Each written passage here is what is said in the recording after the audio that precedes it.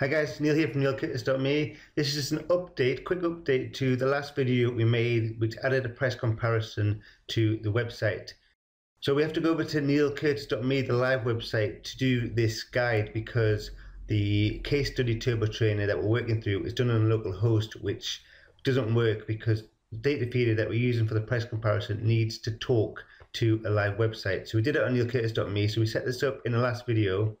Now just go through to the product page that we set up last time and you'll see that there's a price comparison in there and it's the way that we display this price comparison or the code we use to display this price comparison that we're going to modify here to a better updated version. So if we go down in the back end on this product page, this is where we put some code to display the price comparison. It's in the format square brackets DFR colon and the custom view name question mark P equals product ID, then a close square bracket.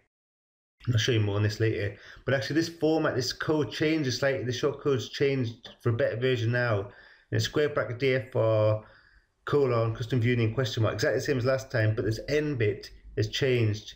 So instead of P equals, which is product equals, it's now compset underscore ID equals, and then it's the compset ID rather than the product ID that we need to place in there.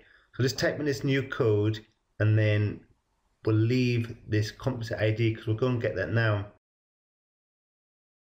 We need to head over to Datafeedr, which is the program we use to generate this price comparison. And while on the neilcurtis.me website, I've got a resources section, so you can just go down here and I've got a link to Datafeedr that'll open it right up for you.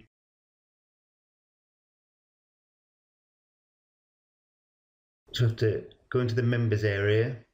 So this is a paid for plugin for WordPress, but it's quite cheap, 20 $25.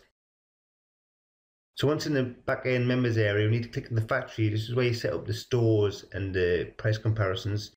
So last time, remember, we created this Turbo Trainer price comparison store.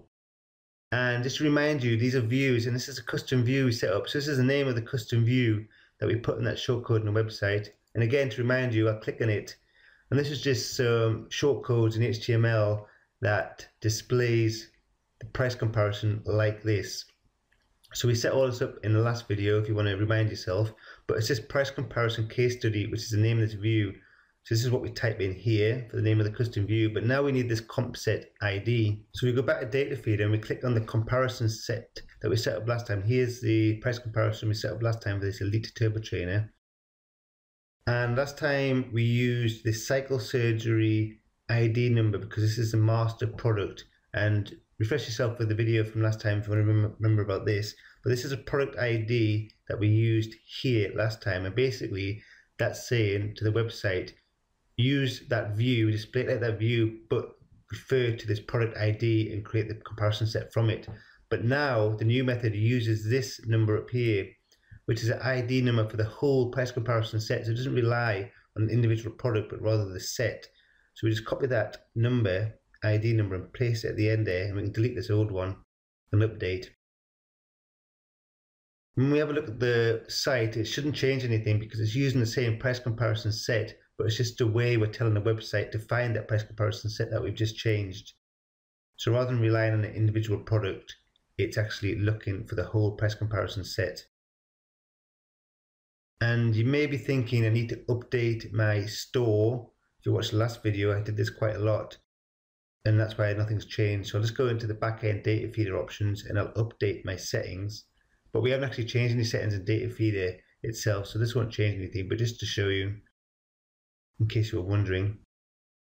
I've updated my store and I'll refresh the website and nothing will change.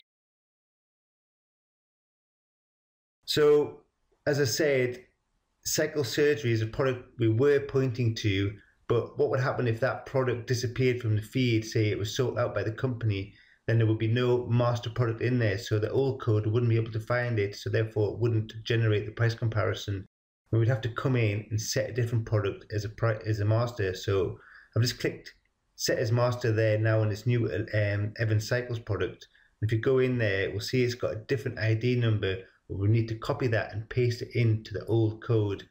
But now, because there's a different master, we haven't had to change this ID number. And if it update the settings with this new master product, again, it won't change anything on the site because the code isn't looking for an individual product anymore. It's looking for the price comparison. So this is a much more robust way, and it means you don't have to update your store as much with new product IDs every time an old product goes out. So there you go, just some small tweaks to the price comparison code to a more robust version. So if you go over to the turbobiketrainer.com live website, just to remind you, this is what we're recreating now in our case studies.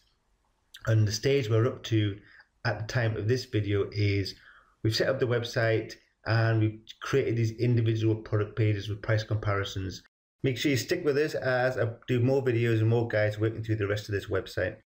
As always, head over to neilcurtis.me where you'll get more updates about what I'm up to and the latest videos. And of course, when you're there, make sure you sign up to the email list because I'll give you some great content as well as updates about new information.